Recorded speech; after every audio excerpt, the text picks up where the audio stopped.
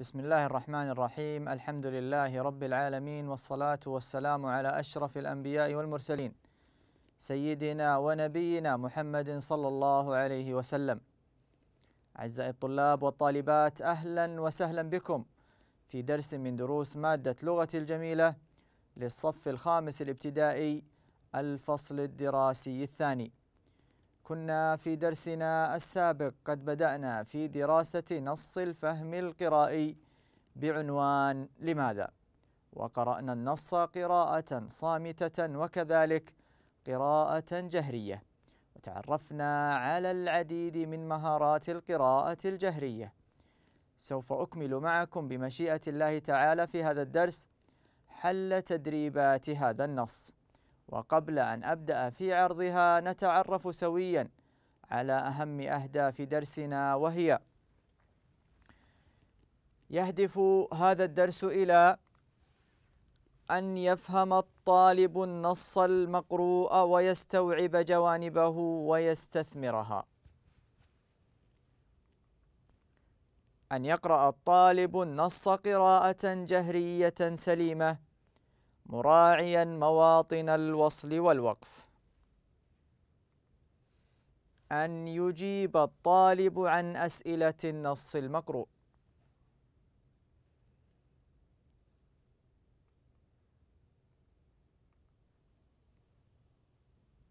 بسم الله الرحمن الرحيم. نبدأ درسنا لهذا اليوم.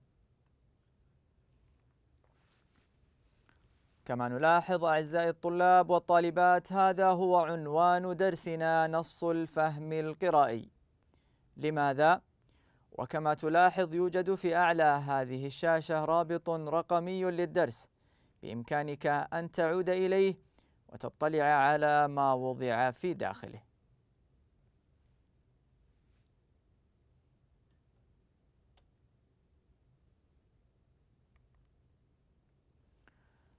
أنمي لغتي. أضع علامة صح يمين المعنى المناسب لما فوق الخط.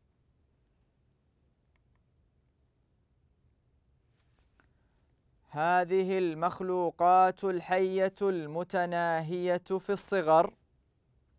نلاحظ كلمة المتناهية جاء تحتها خط. إذا المطلوب بيان معنى هذه الكلمة من بين الخيارات التالية.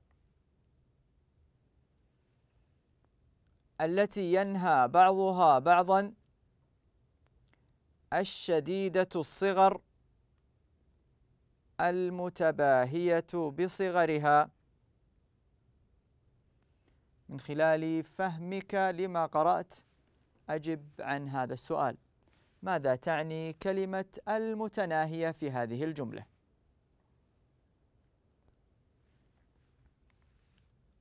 أحسنتم الخيار الصحيح الشديدة الصغر. بنفس الطريقة نكمل حل بقية الجمل. التدني الكبير في درجات الحرارة. التدني تعني الصعود الهبوط الارتفاع. أحسنتم هي بمعنى الهبوط.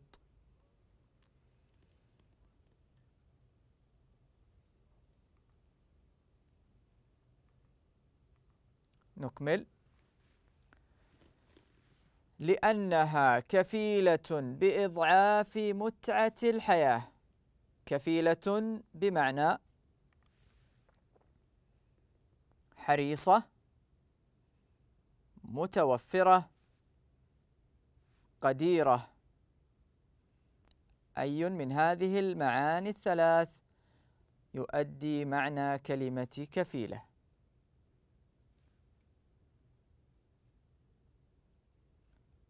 أحسنتم بمعنى قديرة.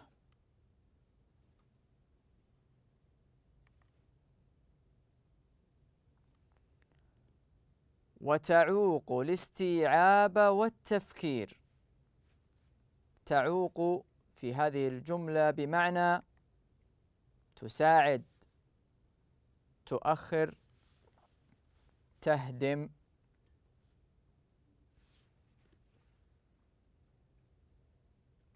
الإجابة الصحيحة تؤخر.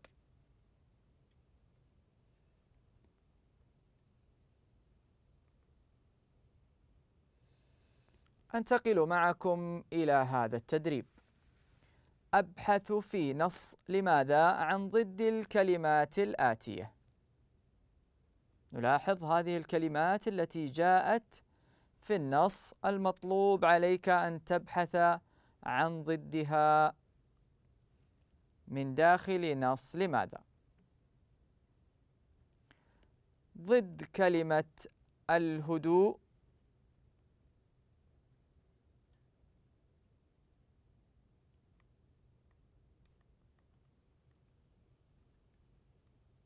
الضجيج.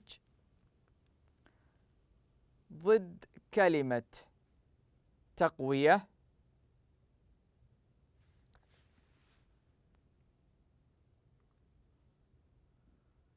إضعاف.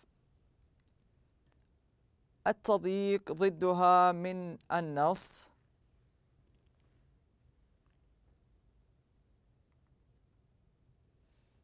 التوسع.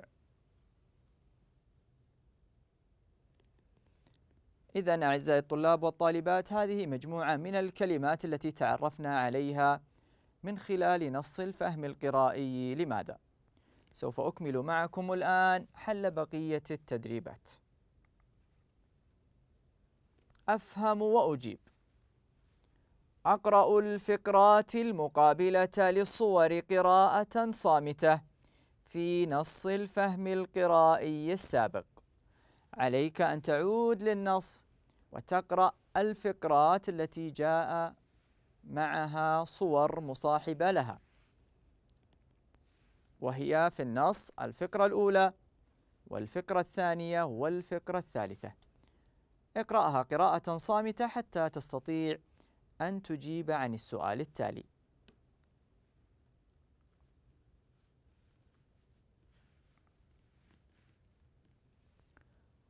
أختار جملة مناسبة من كل فكرة لأكتبها تحت الصورة. إذا بعد قراءتك للفكرات قراءة صامتة. عليك أن تختار جملة مناسبة لكل صورة جاءت أمام الفكرة. والصور هي كما تظهر أمامك الآن.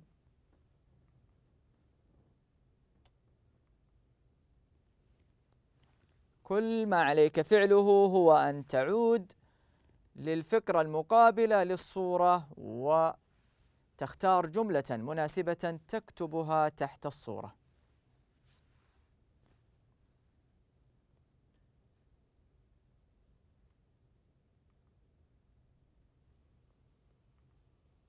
نلاحظ هذه الصورة جاءت في الفكرة الأولى من النص والذي تحدث عن أهمية استخدام كل شخص فرشاة معجون أسنان لوحده.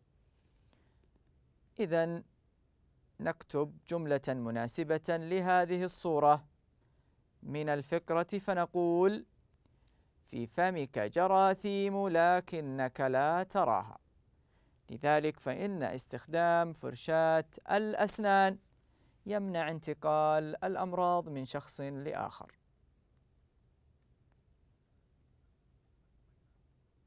بنفس الطريقة ننتقل إلى الصورة الثانية.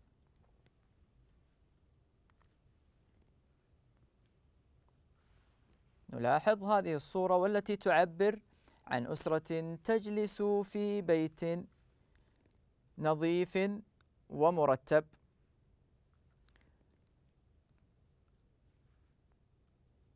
اختر جملة مناسبة من الفكرة التي أمامها.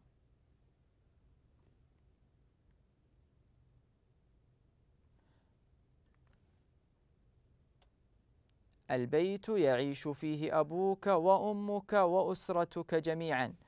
لذا فإننا نحرص دائما على نظافة منازلنا لأنه المكان الذي نعيش فيه ويعيش فيه كل من يعز علينا من الآباء والأمهات. لذلك نحن نحرص على أن يكون هذا المكان نظيفا خاليا من الأوبئة والأمراض. بنفس الطريقة أيضا أنتقل معكم إلى الصورة الثالثة. وفي هذه الصورة نلاحظ ازدحام هذا الشارع بالسيارات. ما يسبب الضجيج الذي تحدثنا عنه في نص لماذا؟ وقلنا بأن الضجيج هو أحد الملوثات التي تنغص صفو الحياة. ابحث في الفقرة المكتوبة أمام هذه الصورة عن جملة مناسبة لها.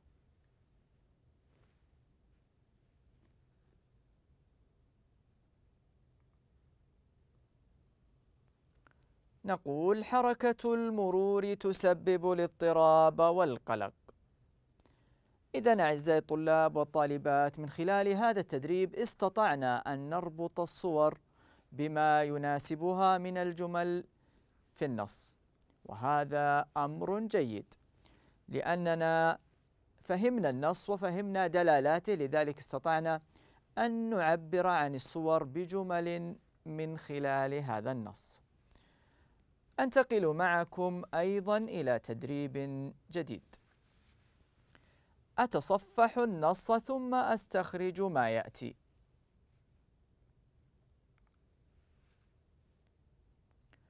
مخلوقات حية متناهية في الصغر تنقل الأمراض.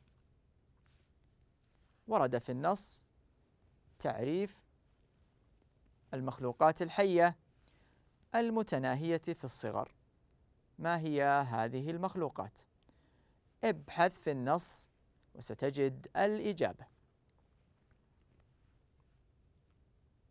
من خلال استخدامك لقراءة التصفح تستطيع أن تجيب عن هذا السؤال.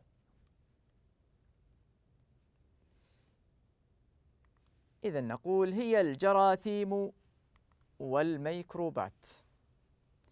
هي مخلوقات حية متناهية في الصغر تنقل الأمراض.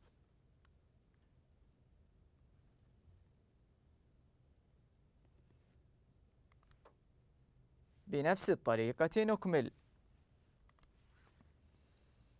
من مخاطر قطع الأشجار.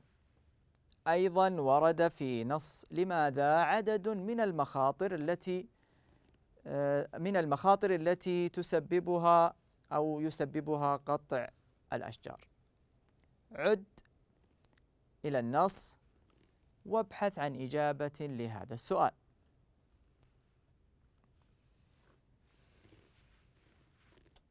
من مخاطر قطع الأشجار. أولاً انخفاض إنتاجية الأراضي من الخشب.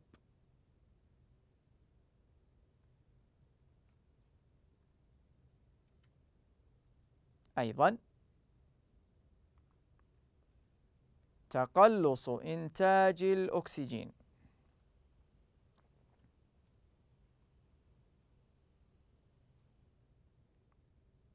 وكذلك ازدياد مخاطر السيول والفيضانات.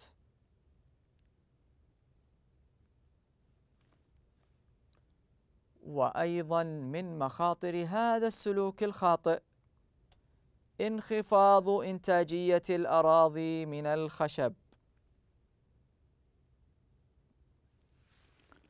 إذا كما نلاحظ أعزائي الطلاب والطالبات هذا عدد من المخاطر التي يسببها قطع الأشجار. لذا يجب علينا أن ننتبه إلى هذا السلوك الخاطئ وأن نبتعد عنه حتى نبقي بيئتنا صالحة سليمة للحياة.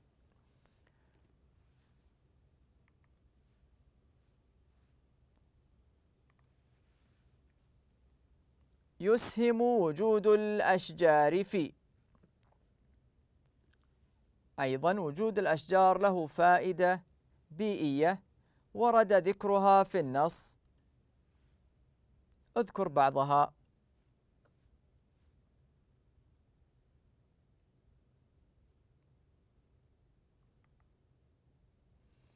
إذا يسهم وجود الأشجار في حفظ التوازن البيئي.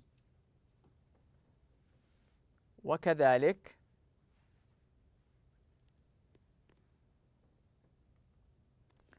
توفير الغذاء للحيوانات المستأنسة. وأيضا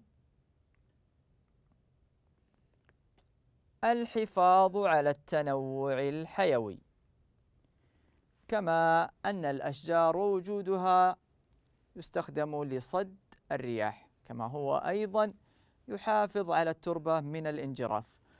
كل هذه الإسهامات تقدمها لنا الأشجار. لذلك يجب علينا أن نحافظ على هذه الثروة الغالية. الثروة البيئية التي خلقها الله سبحانه وتعالى في نظام بيئي متكامل. لذلك فإن الإخلال بأي جزء من أجزاء البيئة يؤثر سلبا على الحياة فيها.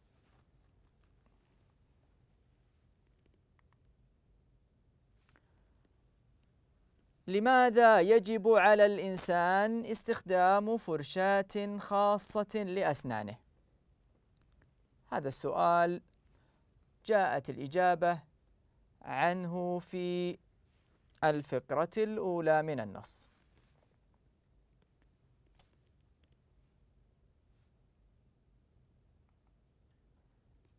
كي لا تنتقل الأمراض من شخص لآخر وقد يختلف تعبيرك عن ما ظهر أمامك الآن على الشاشة. بإمكانك أن تصوغ إجابة بحسب أسلوبك المناسب بشرط أن تكون إجابة صحيحة. كيف نستطيع أن نقي أنفسنا من أخطار الضوضاء؟ وكما ذكرنا بأن الضوضاء هي إحدى الملوثات التي تصيب الإنسان بالتوتر والقلق. إذا هذا يؤدي إلى فقدان الحياة لذتها. كيف يمكن أن أقي نفسي من خطر الضوضاء؟ سؤال يحتاج إلى تفكير إبداعي. فكر ثم أجب بما تراه مناسبا.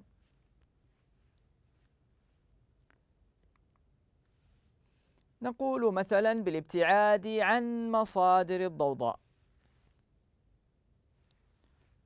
وكذلك توعية المجتمع بخطر الضوضاء ليعم الوعي. هذين حلين يمكن أن نستفيد منها لنقي أنفسنا من خطر الضوضاء التي هي إحدى الملوثات البيئية. أعزائي الطلاب والطالبات من خلال هذا الدرس استطعنا أن نجيب على عدد من أسئلة الفهم القرائي والتي لا يمكن أن نجيب عنها إلا بعد أن نقرأ النص قراءة واعية وأن نفهم ما جاء فيه من معلومات حتى نستطيع أن نجيب عن هذه الأسئلة. أتمنى أن تكونوا قد استفدتم مما استمعتم إليه. ألقاكم إن شاء الله في درس قادم. أستودعكم الله والسلام عليكم ورحمة الله وبركاته.